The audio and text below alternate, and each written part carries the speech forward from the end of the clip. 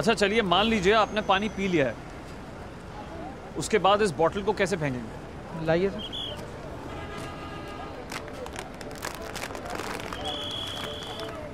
ऐसे। ऐसे। ये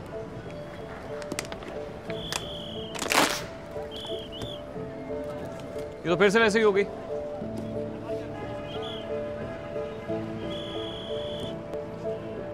ऐसे ही तो ये लोग आपको और गवर्नमेंट को चकमा दे रहे हैं। इसी में टूटी का पानी भर के फिर से आपको पिला देंगे। ऐसा ना हो। इसके लिए लाई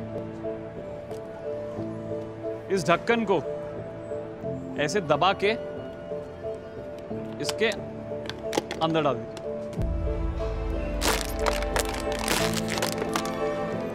अब ये बॉटल बर्बाद हो गई। ये ढक्कन जो है, ये निकलेगा नहीं अब। ठीक है?